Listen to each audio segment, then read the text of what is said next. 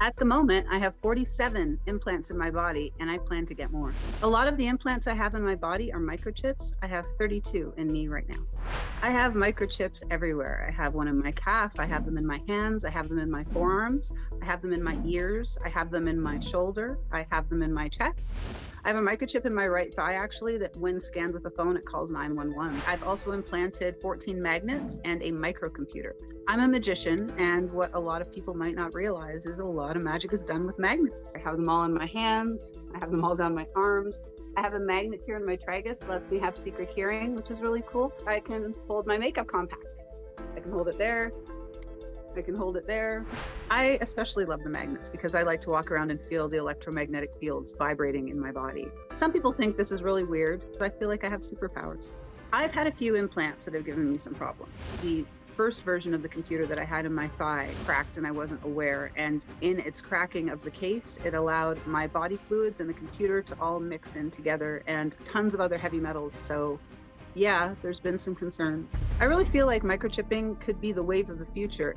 I think that as people learn more about microchips and see all the conveniences they can bring into their lives, I think more and more people will be more comfortable with it. And I can't imagine my life without it. So I don't think I'm going to stop anytime soon.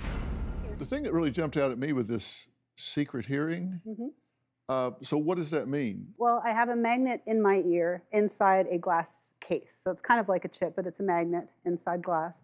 And if I wear a hairpiece that I've made that I use when I'm performing magic, it has a Bluetooth receiver in it with a copper wire induction coil, or I don't know if it's inducing, but it's basically vibrating the magnet in my ear the same way the magnet in your speakers work. So I remove all the other part of the speakers, and with this copper wire receiving the Bluetooth from my phone, I can hear inside my head what nobody else can hear. They're kind of like built-in earphones. Really? Yeah. Okay. So you have 47 I do. implants. Yeah, quite a bit. So do you weigh more? I mean, does it? I hope not. These things don't weigh a lot. No, they don't weigh a lot. I have probably the largest and heaviest ones are the big magnets. You can kind of see them here under my arm. Oh, yeah, okay. You can unlock your medicine cabinet with your right hand, mm-hmm. and you have two circular magnets that you chose to pick up metal objects. A lot of metal uh, objects. Yeah. Do you ever pick up things you don't mean to? I do. Every time I eat at Cheesecake Factory. Cheesecake Factory's cutlery just comes to me, like just attaches, and then it'll attach and swing onto the floor and crash, and I always have to apologize for my behavior. Let's take a, a deeper look at this. So we've got a table here. Let's see what these magnets do here. Okay. So um, these bobby pins, like so whenever I'm doing my hair and I drop bobby pins on the floor, it's really handy to have these. It makes it easy for me to get my magnets up, or my bobby pins, sorry, up off the floor. It's a bit of a pain in the butt, though, when you're trying to get stuff off your hands, when you have magnets on both hands. So Yeah, I I purposely so- I only put one so. over here. So I can always remove them from the other hand. Oh, okay. Well, you still got about a hundred of them there. Okay. Like I said, the heavy cutlery at Cheesecake Factory, I can swing it um, much like this. Don't worry, I won't hurt you.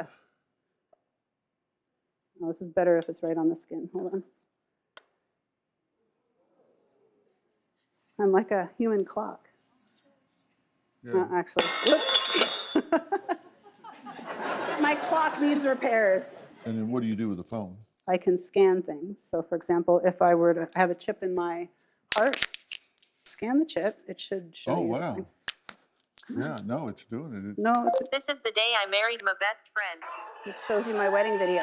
And you can reprogram the chips over and over and over again to do things. Do you have a story or a question for me? Click the link in the description and tell me what in the world is going on.